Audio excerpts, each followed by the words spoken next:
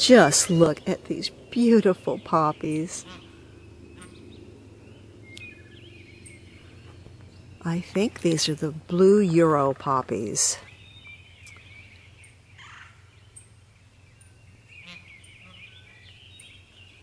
I was a little concerned because they were so short, but I think they're delicate and lovely. And back there, little pink ones.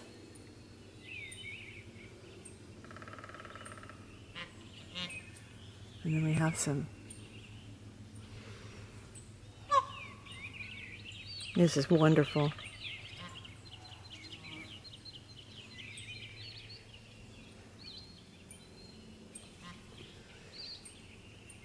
It's poppies this morning, all different sizes.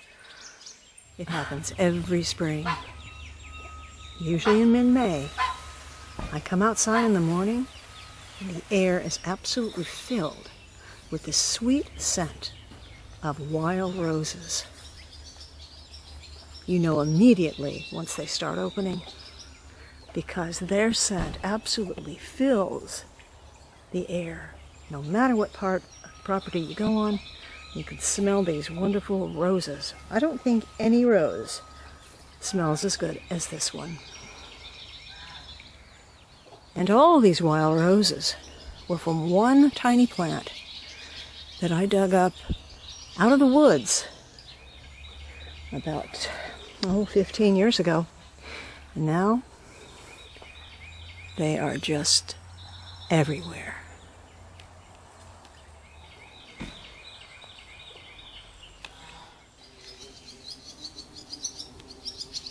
My potager has been taken over by pink primrose and little ducks. So these are my little ducklings. And this poor little duckling has a little wonky leg. She's got some kind of problem with her walking. She can walk, but she's very bow-legged. You can look at look at how big they are already. I'm letting them stay in the potager where they can be safe for now because they're they don't have any mommy to take care of them except me. So I'm trying to keep a close eye on them. And uh, they've got their little swimming pool over here for now. but They're adorable. My gosh, they grow fast. Hello, Winston. I hope I have two girls and a boy. So I'd have a Pitty Pat, a Winston, and a Mia. I'm to take a few minutes to talk about up planting your young plants that you started from seed in pots. If you don't plan on putting your young plants directly into your garden because maybe you haven't prepared your garden bed yet or you just don't know where you want to put them, and when they get about this size, these are there are three hollyhocks in here. I could easily put these in the garden right now. The problem is I'm not quite sure where I want to put them yet, but they are outgrowing these peat pellets. So what I want to do is I want to up pot them into something larger so that they can grow even bigger and stronger. So I'm going to take the entire pellet. This is one thing I love about these pellets is you just can take this whole thing and put it right in another pot. In this case, I want to split them apart though. So let's take one that's just a little bit, a single. And there it is. I've got a much bigger pot here. This has got potting soil in it. I'm going to make a space for it. And I'm just going to pop it in. And now it has a lot more room to grow. It's going to be a lot healthier and stronger when I do decide to put it into the garden. And let me just show you a few examples of different things that didn't get up potted as opposed to those that did.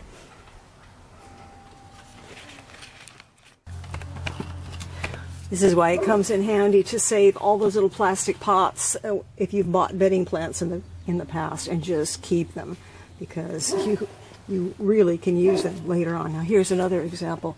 This is Asian spinach, which I took a long time transplanting it into a bigger pot because I want to put this in several different gardens and I've already put it in the potager but I want to put it in the colonial garden too but I took my time in putting this in a little pot but this one I put into a larger pot right away look at the difference in their growth huge same same uh, soil everything but this one I transplanted into the larger pot earlier than this one so this is just something um, that it's important to do. And then all these little little things here. I'm just surrounded today with all sorts of plants that need to be moved. As you can see, all kinds of things need to be either put into the garden or just given a bigger growing space. Here are some straw flowers that I planted from seed in these peat, pellet, peat pellets and you can see they're getting pretty lanky and they're actually ready to put into the ground, which is where these are going. But before I knew where I was going to put them, I took half of those, put them in a larger tray with a lot more room. Look at the difference in size. So if you just give them room to grow, they'll do a lot better if you're not ready to plant them into the ground yet. Today's antique flowers are Canterbury bells, and sweet peas. Unfortunately, I could not find a lot of photographs with Canterbury bells, and I did not have any video from my garden because I only had two successful plants last year. But they belong to the Campanula family, which would include the bellflowers, the cup and saucer Canterbury bells, and the ordinary, well, not so ordinary, Canterbury bells that you can see right here. They, um, the meaning of Campanula is Tower of Bells in Latin, and they are native to southern Europe, and they were introduced to British gardeners in 1597, and they initially were called Coventry bells until the 1800s, also known as Venus looking glass. They are a biennial, which means once again they bloom the second year. So we're going to be planting ours in little pots and keeping a very close eye on them. And as they grow and get larger, we probably won't even put them in the garden until the end of summer. And then, next year, in the garden, they shall bloom, we hope, in these marvelous, lush, and vibrant colors. Just look at that. So let's get planting on these Canterbury Bell seeds. You could just as easily plant these directly in the garden, but because I want to really keep an eye on them, Sometimes that's the best way for me to have a successful plant is to start it in a pot and really take good care of it instead of letting it get lost somewhere in the garden where I forget all about it and it dries out and I never see it again. So this is the reason I start a lot of these things in pots. So we're going to do our Canterbury bells, several different kind, and we're going to do the Canterbury bells. We're going to do the cup and saucer mix. This one I'm a little concerned about because it's mm, this package of seeds is two years old. It may not be any good, but we'll find out. And then we're going to do some bell flowers, and these are all in the Campanula family. So let's start out with our beautiful little Canterbury bells, and I'm using the clay pots today. I want to um, have a nice deep pot in this case because I am going to keep them in the pots for quite a while before I put them in the garden. And one thing to keep in mind with clay pots is they dry out a lot more easily than the plastic. So it's good to put them in a, on a tray where you can keep them watered from the bottom or have the little dishes that come with them. You really want to keep an eye on clay pots when you plant anything in them. They really do dry out pretty quickly. If you're going to sow these directly in the garden, you're going to want to sow them in late summer or early fall and you'll get blooms the following year. But since it's early spring and I'm planting them in pots, oh, by the way, this is a very good plant to grow in pots and just keep them in pots. Um, I'm going to let them grow to a pretty decent size and then I'll probably up pot them again. And then I won't plant them into the garden until probably late summer.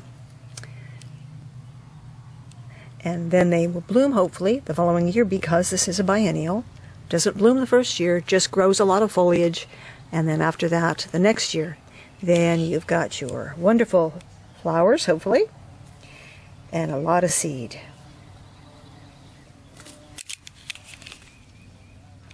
So once again, you can see that we have a very tiny seed here. Not as small as the foxglove, but I'll probably sprinkle a, about, I don't know, 8 to 10 seeds in each little pot and thin them out um, accordingly. Keep your pots nice and wet. And don't really put them out in the, give them some light, but don't really put them out in the hot sun at this point. Now, the germination rate on the campanula and the Canterbury bells in particular, 14 to 21 days, so you have to be patient. In fact, these just started appearing, and it's been about two weeks since I put these seeds in the pots. But um, you can see that we're finally getting some wee babies. So really, it's worth the wait. The sweet pea was a wildflower growing in Sicily, which was transported to England in 1699. Sweet peas were not considered great beauties at the time, but they did possess an exquisite fragrance. In fact, the flowers only grew two to a stem, and they came in only two colors, maroon and blue. With tall spikes of flowers and curling tendrils and delicate lovely, luxurious little blooms. These spikes of sweet peas had a scent that was compared to honey and oranges. So that's no wonder that they actually caught on quite big with the public in the 1850s. And by the 1900s, there was not a dinner table setting or a wedding in England or America that was not complete without a bouquet of sweet peas. It was actually very rare to see a garden without sweet peas climbing a fence or a trellis. And in this case, I've got these getting ready to climb a trellis, we hope. So, mixed in with these sweet peas, we have nasturtiums. And these have been growing for, I guess, I think I put them in in April. Nowadays, sweet peas come in a variety of rich colors. And I do wish I had some footage to show you of my sweet peas, but since I've never had any luck with them so far, I'm trying again. So I am just showing you a photograph from a garden book with some beautiful sweet peas. Now they like a sunny location and a nice rich soil and plenty of moisture. So I think they're going to be re really great in this particular pot in the middle of the colonial garden where first the tulips bloomed and now we have the sweet peas and the nasturtiums growing side by side. Now I use this old cattle trough for a nursery bed where I experiment with a lot of different kinds of flowers.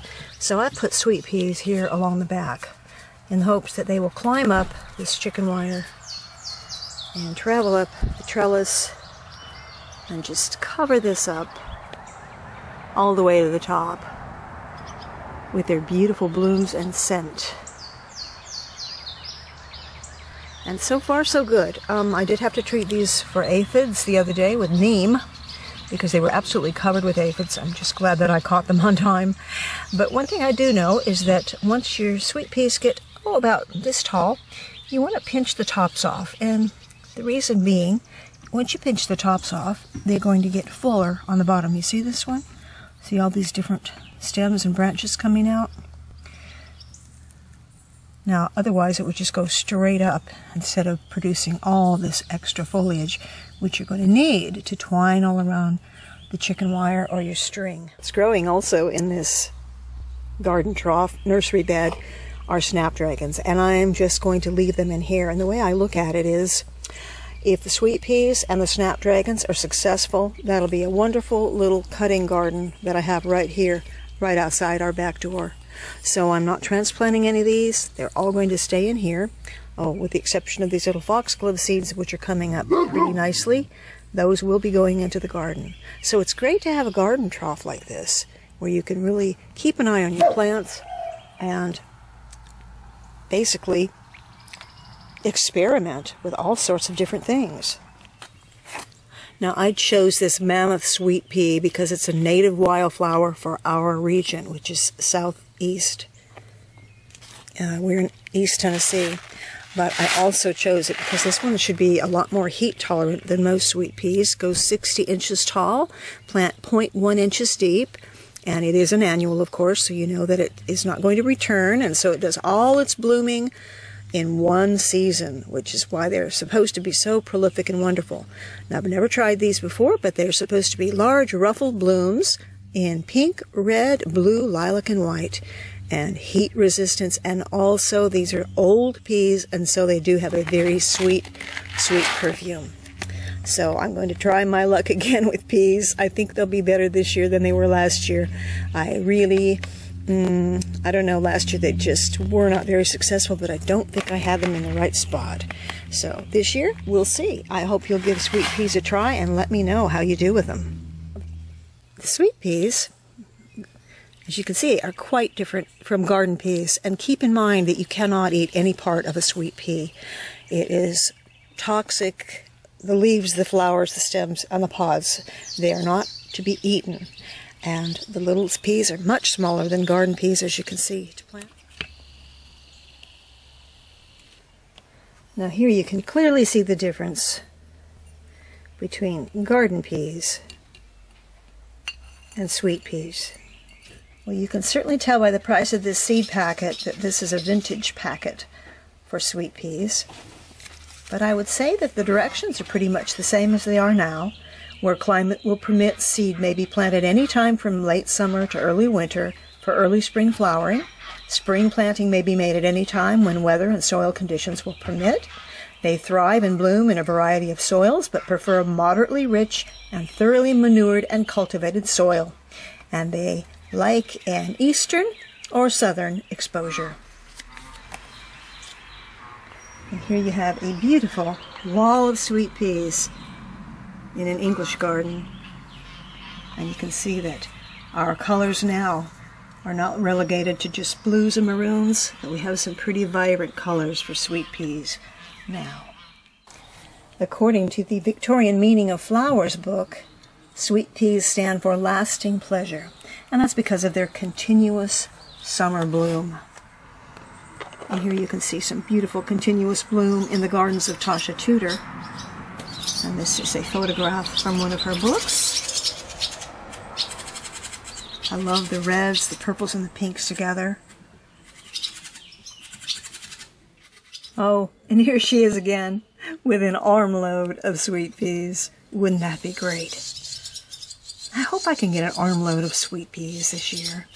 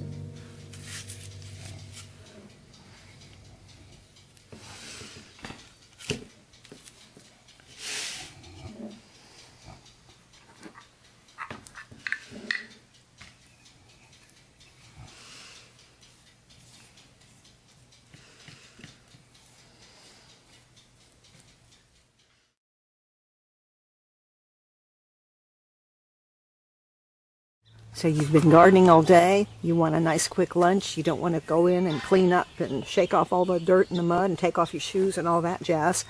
So you open up your lunchbox or you pull it pasty right out of your pocket. In this case, I went ahead and wrapped this one in aluminum foil to keep it nice and hot and I can feel that it is still nice and warm. And I just have a thermos of coffee here. This could be tea or lemonade or anything else that you want to drink. I need an extra boost in the afternoon, so I generally will drink coffee. So I became interested in pasties because of Hercule Poirot, uh, Agatha Christie's Poirot with David Suchet, because Chief Inspector Japp was always pulling this yummy looking, crusty, pastry covered thing out of his pocket or stopping at a food vendor on the on the street and buying one of these yummy looking things, which I did not know what they were being an American and all, but it turns out it was a pasty. So supposedly the origin of the pasty was the Cornish pasty, a traditional Cornish pasty, which was a food that the miners would take down in the mines with them in Cornwall. And this was a nice portable meal full of meat, potatoes, and onions, and generally a turnip, and then some sort of nice gravy. And that would be a traditional Cornish pasty with a nice thick crust, although also flaky and yummy, but it was said that it should be hard enough that if it fell down the mine shaft, it wouldn't break. So I don't know if mine's that hard, but it's pretty hard. And that's one of the reasons that when you're doing the pastry crust, you need it a lot more than you would a pie crust because you want it to be a little bit more sturdy to hold everything that's inside of it. Now mine is filled with beef stew because we had leftover beef stew and I wanted to have the carrots in it. Uh, apparently, uh, Cornish pasty would not have carrots in it, but this is just a pasty. And I think it broke in half when I was, so this, yeah, it did break in half when I was rewrapping it. And of course this one would not fall down a mine shaft without breaking because it already has broken in half. But you can see the meat in there. It looks so delicious, and it really is. It really is. My crust is really thick. I really need to work on my crust. And honestly, if I think if I was going to make this again, I would buy uh, one of the paste puff pastries because that is one of the crusts I tried first, and it just completely fell apart. But it was handmade. I would purchase a puff pastry crust, which is pretty thick, and that's what I would wrap my next pasty in that I make. But I think that even though this is a pretty thick crust, it looks more like a biscuit really, um, it's really quite good. And I'm definitely going to make these again. But you could put anything you want in a pasty. You could use um, chicken, fish, or you know whatever whatever whatever kind of filling you like. So this is a great lunch to stick in your pocket if you want to. This is a pocket garden lunch. And in my case, I wanted to use my old lunchbox here. This is a lunchbox that I had from the time I was seven years old. And I had to take this to school with me. To, frankly, I think uh, by the time I was in fifth or sixth grade, I, I just hated it. But um, and this isn't the original one. This is one I found at an antique store, just like mine. And so I had to, I had to have it. Nostalgia. I think these were made in the 19, I think this was made in 1950. So, traditional little lunchbox. Or like I said, you can stick that pasty right in your pocket if it's tough enough. But maybe you don't want all that garden soil all over your pasty. So wrap it up tight, keep it nice and hot, and enjoy a pasty this week after you get out of your garden. So from here in Hopalong Hollow, I hope you will enjoy a garden pocket lunch in the form of a pasty. I hope you will decide to plant some of those sweet peas and Canterbury bells in your garden. And I just wanted to give you a parting shot of this absolutely stunning and exquisite peony growing in one of the gardens. These are so fleeting. and especially after rain, those petals start to droop and drop. But I had to give a shot of this, and it is absolutely huge and gorgeous. And as usual, I cannot remember the name of it. But from Hopalong Hollow, this is Jeri, and I'll see you next time. Bye.